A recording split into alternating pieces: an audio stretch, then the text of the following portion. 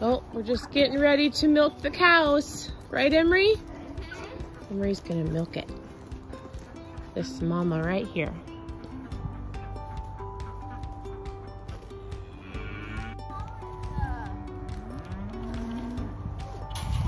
Oh, she's ready. She's ready to go get milked.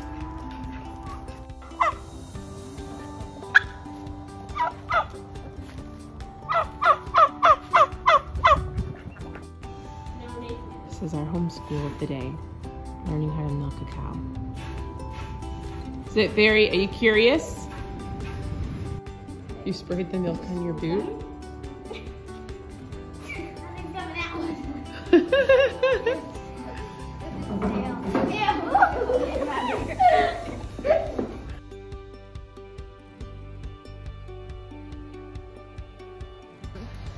oh, we found some more hay bales.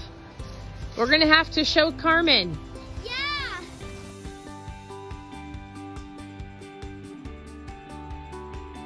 I did the live that talked about chasing daylight. I don't have the best internet, so you have to forgive me. It probably was in and out, and we're here, so I can.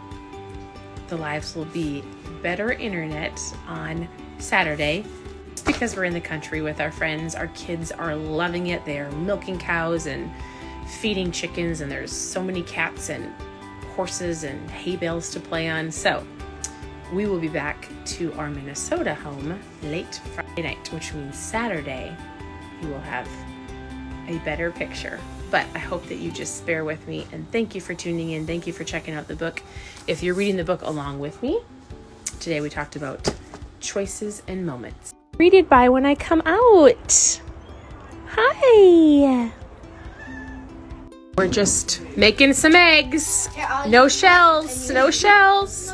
Contest in the kitchen between yep, between Pacey, Pacey and Annie. Whoever makes the best eggs. A serious competition. Who's gonna win? Probably me. Perrin, what did you ask me? What did you ask me? Is that your energy? Yes, this is my energy.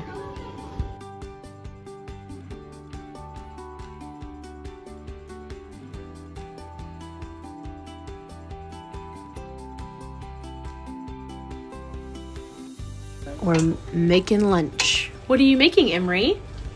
Uh, I don't know it's called. Cheeseburger soup and some chili. And that